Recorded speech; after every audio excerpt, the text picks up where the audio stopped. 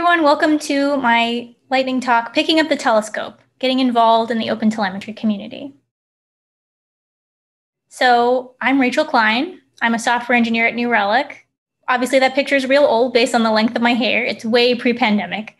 Um, I'm new to the Open Telemetry community, super excited to be presenting for you today. Did I mention I'm like really new? Like, I just submitted my first couple of pull requests in the last few weeks new. Well, that is going to be my best asset today as I talk about my experiences as a first time contributor and what we can all learn from them.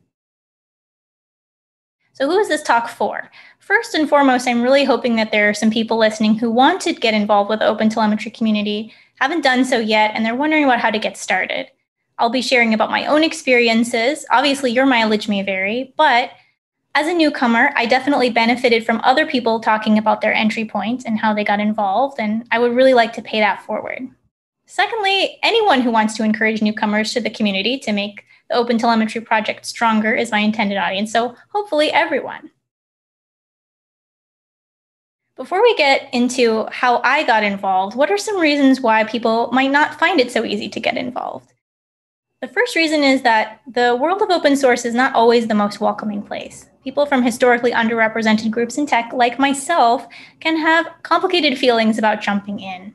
I've got a couple of quotes here from Wikipedia about uh, their, their entry on diversity in open source software, about some less than welcoming behavior that's been present in open source communities in the past. So, just kind of that history does tend to give people pause sometimes about jumping in. However, the open telemetry community has acknowledged this, which I think is really important, and shown a sincere desire to help everyone feel welcome. There's really no easy answers. You know, you can't uh, upfront plan how you're going to make uh, your community a welcoming one, but just having that sincere um, acknowledgement of the of the issue and a sincere desire to address it is an essential first step. And I also wanted to say that once I took the plunge, my experiences in the community have been very positive. So I'm really grateful to everyone with whom I've interacted for being so gracious. The second reason why it might be a little bit difficult to get involved is because let's face it, open telemetry is complicated. I stole this diagram from a New Relic blog post. Um, and definitely the first time that I looked at it, I felt confused. It can be hard to know where to start, and it can be easy to feel confused. I feel like that's important to acknowledge as well.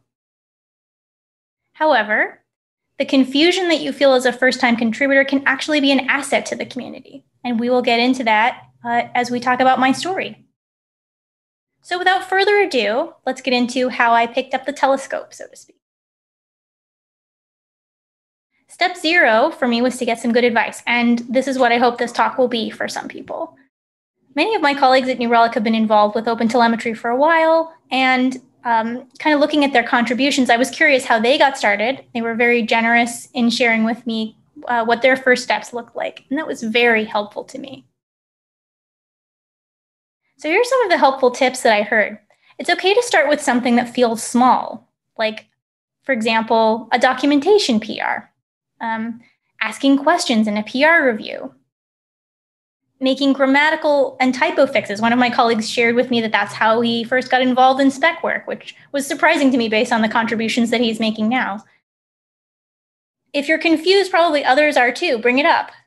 Um, this is, goes back to that whole questions being an asset thing, and that really did prove to be true for me. And the last piece of good advice I got was just start somewhere. So, based on that advice, uh, being a Rubyist myself, I took a look at the open issues in the Open Telemetry Ruby repo, and I tried to just start somewhere.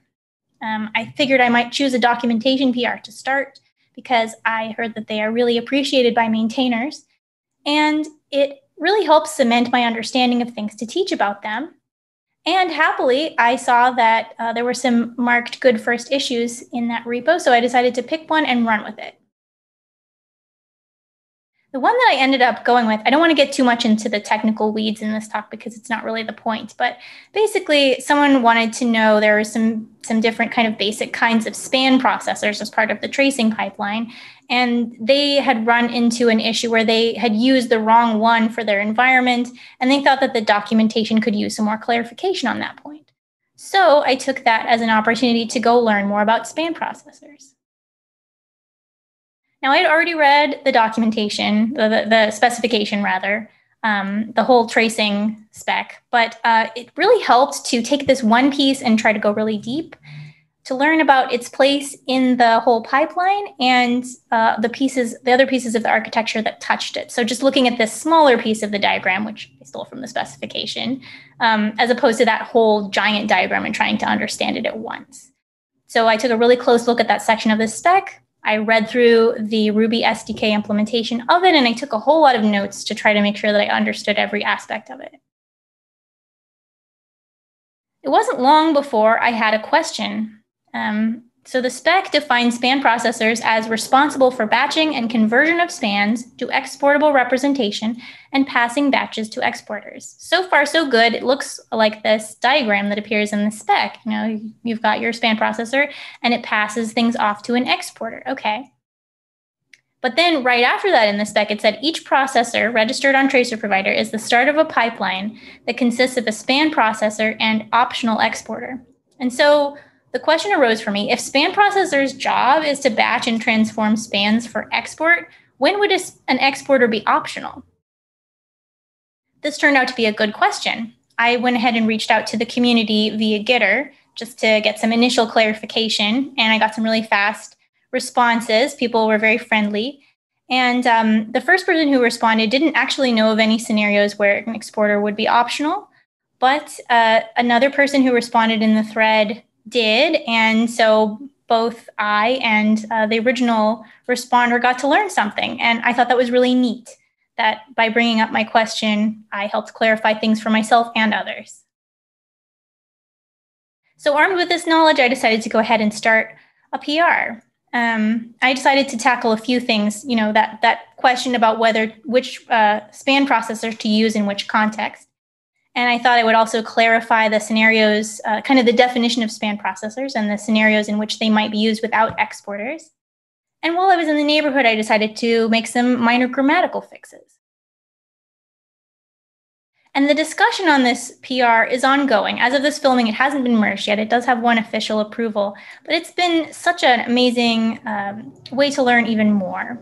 So, a couple fruitful aspects of the discussion so far. People obviously brought up some more nuances to the things whose definitions I was trying to clarify. So, I was able to make them even better um, with having comments from a wide variety of people throughout the community weighing in. And then also, surprisingly to me, those grammatical fixes that I made uh, ended up being more useful than I thought, even because um, since things that I didn't make, you know, substantial um, changes to meaning wise, um, but were just grammatical fixes, were still part of my PR. It caused people to take a second look at them, it got people talking about them, and we were able to make some needed changes, clarifications there as well. And then finally, I circled back and uh, took what I had learned from that discussion on my specification PR and made a PR to the Ruby OpenTelemetry implementation, which did end up getting merged. So I feel really happy that I was able to help uh, clarify things for users of Ruby OpenTelemetry. So this, all of this was a relatively small investment of time and effort, really not bad. Um, I gained a better understanding of OpenTelemetry architecture, and I was also able to help other people understand it better as well, um, and really got some good discussions started. I also gained a knowledge of processes, you know, just how to submit things in the correct way. Um, and I made connections in the community. So the next time I want to contribute something, it will be even easier to jump in. So, what are the takeaways here? For new contributors, being new actually is an advantage. New eyes on the subject are really needed. Um, questions, oftentimes, they're good questions and they help clarify things that need to be clarified also choosing a topic and following your curiosity will take you far. It's it's a better approach in my opinion than trying to understand everything up front.